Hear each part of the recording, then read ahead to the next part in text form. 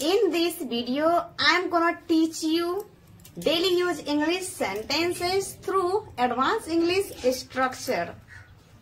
Do you want to improve your English through advanced English structure? If you want to improve your English through advanced English structure, then guys, I recommend you today's class is going to be very helpful for all of you guys. So, without delay, let's get started. Hey guys, once again welcome back to my YouTube channel, Janagar Madam. This is Janagar Madam and you're watching on Janagar Madam. How are you guys doing? I hope you all guys are doing absolutely fit and fine. In today's video, I'm gonna teach you advanced English structure. And today is Advanced English Structure Day 63. Guys, हम काफ़ी बार अपने day to day life में कुछ इस तरह के sentences को बोला करते हैं जिसकी इंग्लिश हमें मालूम नहीं होती है। जैसे कि जितना सोना है सो लो। जितना खेलना है खेल लो। जितना हंसना है हंस लो। जितना रोना है रो लो। जितना टहलना है टहल लो। जितना पीटना है पीट लो। जितना नाचना है, नाच लो। जितना कहना है, कह लो। जितना पीना है, पी लो। तो काफ़ी बार गाइज़ इस तरह के सेंटेंसेस को हम लोग अपने डे टू डे लाइफ में बोला करते हैं। हिंदी में तो बड़ी आसानी में बोल लेते हैं। जब इंग्लिश में बोलने की बारी आती है तो गाइज़ हम लोग अटक जाते हैं। यही बात है ना? तो गाइज़ आज का जो ये क्लास है, आप सबके लिए बहुत ही हेल्पफुल होने वाली है। यदि आप इस तरह के सेंटेंसेस को सीखना चाहते हैं तो बने रहिए इस वीडियो में एंड तक। So without delay let's get started guys अभी जस्ट आपने इन सारे सेंटेंस को सुने हैं तो एक चीज़ आपने ज़रूर नोटिस किए होंगे। जितना जितना जितना, क्या है सारे सेंटेंस में? कॉमन है। तो जितना के लिए हम यूज़ करेंगे एज मच एज मतलब जितना। जितना को हम इंग्लिश में क्या कहते हैं?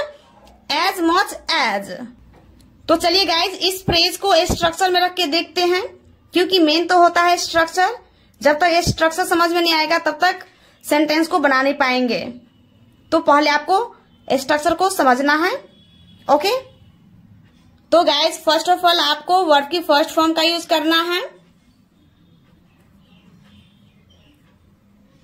वर्ड की first form then as much as as much as मतलब जितना ओके देन उसके बाद subject then want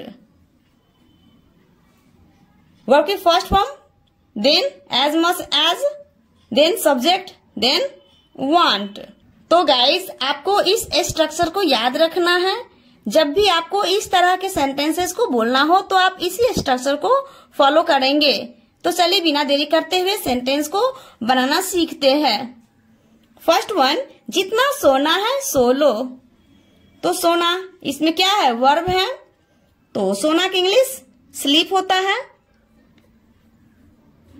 Sleep then as much as जितना का इंग्लिश लेना है। As much as then subject you क्योंकि सेकेंड पर्सन से ही बात कर रहे हैं ओके तो यू का यूज़ करना है। Then want guys sorry for mistake here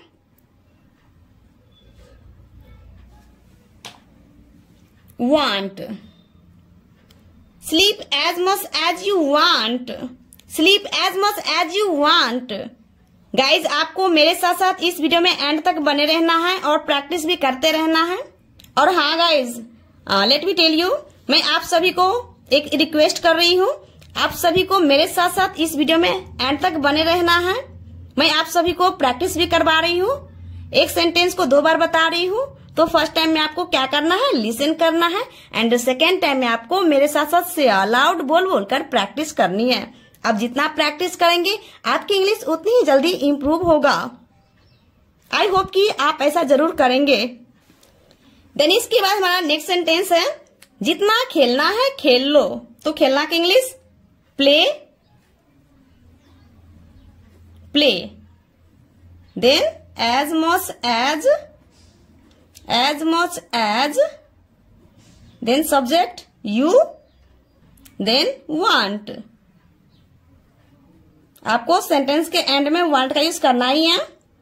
Play as much as you want play as much as you want जितना हंसना है, हंस लो। तो हंसना की English laugh laugh as much as you want laugh as much as you want laugh as much as you want तो guys यदि वीडियो पसंद आ रही हो तो प्लीज़ एक लाइक ज़रूर कर दीजिएगा। यदि आप हमारे चैनल पे नए हैं तो प्लीज़ चैनल को सब्सक्राइब कर लीजिएगा। साथ ही साथ जो ऑल वाले घंटे का निशान दिख रहा है प्लीज़ उसे भी क्लिक कर लीजिएगा, ताकि आने वाली वीडियो की नोटिफिकेशन सबसे पहले आप तक पहुँचे। तो ऐसे ही मेरे साथ साथ बने रहिए इस वीडियो में एंड तक। आई होप कि आप बने रहेंगे। और हो सके तो गाइज़ इस वीडियो को अपने दोस्तों में ज़रूर शेयर कीजिएगा, ताकि आपके भी फ्रेंड लोग इस तरह के सेंटेंसेस को सीख पाए। आई होप कि ज़रूर आप शेयर करेंगे। नेक्स्ट वन जितना रोना है, रो लो। तो रोना क्या है? वर्ब है तो वर्ब की फ़र्स्ट फॉर्म का यूज़ करना है। Cry as much as you want. Cry as much as you want. Cry as much as you want. जितना टहलना है टहल लो तो टहलना की English walk walk as much as you want Walk as much as you want. Walk as much as you want. जितना पीटना है, पीट लो। पीटना की English? Beat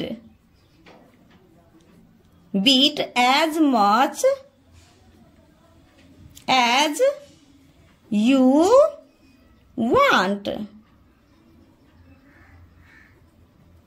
beat as much as you want beat as much as you want जितना नाचना है, नाच लो। तो नाचना की English dance dance as much as you want dance as much as you want dance as much as you want guys आपको video को स्कीप नहीं करना है। यदि आप स्कीप करेंगे तो सीख नहीं पाएँगे। यदि आपको सीखना है तो आपको मेरे साथ साथ प्रैक्टिस करते ही चलना होगा। तो बने रहिए। जितना कहना है कह लो। तो कहना, say say as much as you want say as much as you want. Say as much as you want. जितना पीना है पी लो। पीना की English drink drink as much as you want drink as much as you want drink as much as you want guys now your turn अब आपकी बारी है। मैं आप सभी को दो होमवर्क दे रही हूँ, जिसको क्या करना है आपको कमेंट बॉक्स में सेंड करना है। क्योंकि मुझे भी तो पता चलना चाहिए ना कि आप वीडियो को वॉच किए हैं तो आप कितना सीखे हैं। तो पहला सेंटेंस है, जितना लड़ना है, लड़ लो।